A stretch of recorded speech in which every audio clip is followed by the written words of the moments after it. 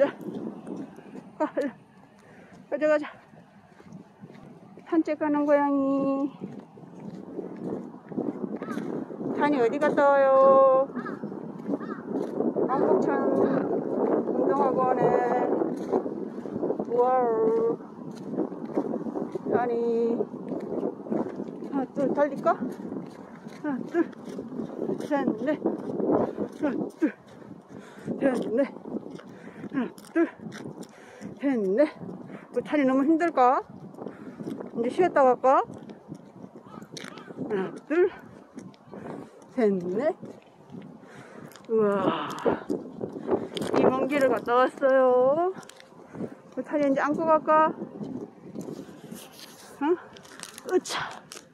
으이샤. 아이고, 고생했어요.